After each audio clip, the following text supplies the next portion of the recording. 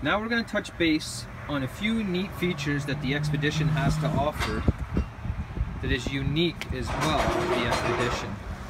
So one great thing about the Expedition Max is you get tons of extra space here in the back. You also get the power folding third row seat, which you can see there. And another neat option is you can see the middle row there. They actually fold down just as low as the back is here, which is called the cargo management system. So if I show you this seat over here that's already up, I'll give you an idea of what that exactly gives you for extra space. So when you pull the lever here, it flops down. You pull the lever on the headrest, that flops down as well. Now you can see there's a bit of a gap here. The height is difference between the two.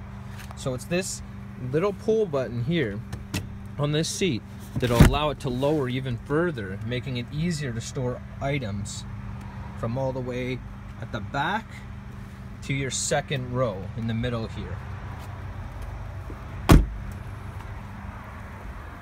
So now you can see it from the back angle here.